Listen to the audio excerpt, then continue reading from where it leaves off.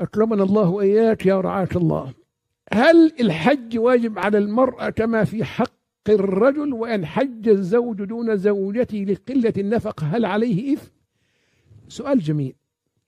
ولله على الناس حج البيت من استطاع إليه سبيلا. الناس تعبد يدخل فيه الرجال والنساء. فالحج واجب على الرجال وواجب على النساء. لكن ثمة شروط للوجوب. الاستطاعة القدرة البدنية والقدرة المالية. إن يقدر يسافر وعنده نفقة والمرأة زيادة على هذا المحرم أو الرفقة المأمونة. وبالمناسبة لا يلزم الزوج أن أن يبذل لزوجته نفقة حجها. لا يلزمه أن يحجج زوجته. إن فعل فقد أحسن. جزاه الله خيرا من من من حسن العشرة من البر. من حسن الصلة من النبل والأصالة والوفاء.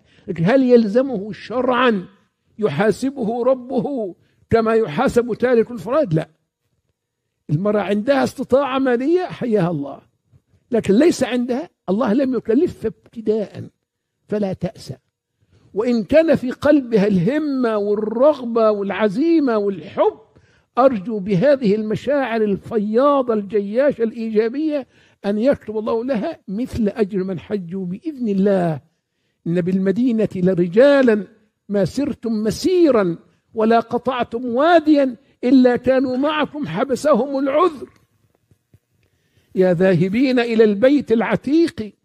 لقد سرتم جسوما وسرنا نحن أرواحا. إنا أقمنا على عذر وعن قدر. ومن أقام على عذر فقد راح.